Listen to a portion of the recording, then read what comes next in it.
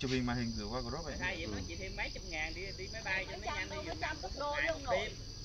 Mà nó nguy hiểm hơn. Đâu. Để đưa ra làm thủ tục của tụi máy bay cũng quá trời kiến. Từ từ tính. Nhớ có vé đặt chỗ rồi, hàng thử đây. Thôi để lúc nào rảnh cứ gửi nhá. vâng. Có là được.